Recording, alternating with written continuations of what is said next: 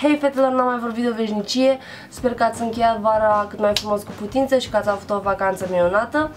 Uh, e timpul să ne reîntoarcem la treabă și m-am gândit să încep această nouă serie de, de clipuri cu, cu un mini haul Asos. Uh, am profitat de reducerile lor de până la 75% și vă îndemn să intrați și voi pe site, deși nu știu dacă o să mai găsiți acum uh, mărimile pe care vi le doriți, dar nu știu niciodată, poate aveți noroc. Intra pe articol de toamnă, i-am luat patru plovere, uh, acesta burgundy, care e foarte lejer și um, lărguț, cu mânești lungi, foarte casual. Acesta alb,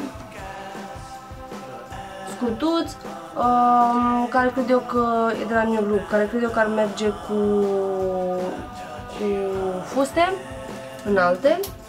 Um, încă unul foarte pufos, fucsia, este mai lung în față și puțin mai scurt în spate și ce îmi place cel mai mult are crăpăturile astea pe, pe părți, mi se pare foarte drăguț. Așa și uh, ultimul din, uh, din seria asta, un cardigan navy lung cu dantelă pe ume și vine așa. Este mai lung în față și mai scurt în spate. Uh, apoi la capitolul încălțăminte mi-am luat într-o comandă uh, espadrilele astea navy. Uh, arată așa. Și mi-a plăcut atât de mult și au fost atât de comfy încât uh, mi-am comandat și pe roșu.